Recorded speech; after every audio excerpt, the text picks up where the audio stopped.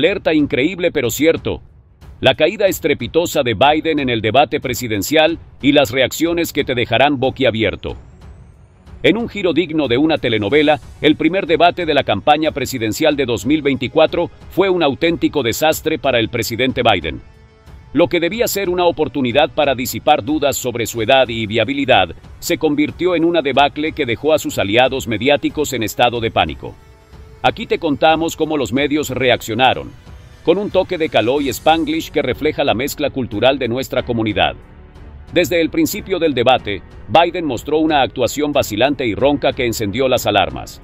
Joy Reid de MSNBC compartió su desánimo. Mi teléfono estaba más caliente que una plancha vieja, lleno de mensajes de figuras de Obama World y Biden World, todos preocupados porque Biden parecía extremadamente débil.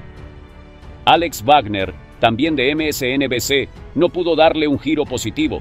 Biden no demostró que no es demasiado mayor, estaba más perdido que un gringo en una fiesta de mariachi.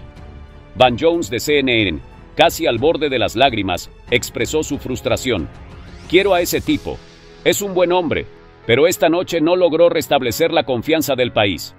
Muchos van a querer que considere tomar otro rumbo. Anderson Cooper también mostró seriedad. El presidente de Estados Unidos no pudo exponerle un caso sólido a Donald Trump en el escenario esta noche. Incluso el Drudge Report, conocido por su inclinación anti-Trump en los últimos años, no pudo ocultar su alarma. Operación, reemplazar a Biden, decía su pancarta.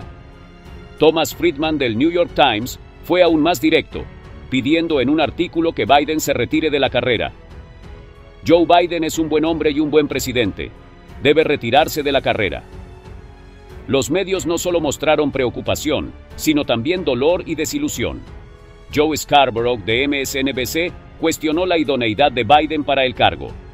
Si él fuera director ejecutivo y lograra un desempeño como ese, ¿alguna corporación en Estados Unidos lo mantendría? Claire McCaskill admitió su desazón. No soy el único al que se le está rompiendo el corazón en este momento. Incluso en The View, donde se esperaría apoyo para Biden, hubo llamados a que se retire. Sonny Hostin y Sarah Haynes coincidieron en que si los demócratas quieren derrotar a Trump, Biden debe hacerse a un lado.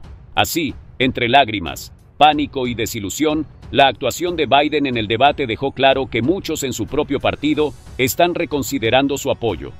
Con un toque jocoso y chistoso, pero con la seriedad que merece el momento, esta debacle podría ser un punto de inflexión en la carrera presidencial.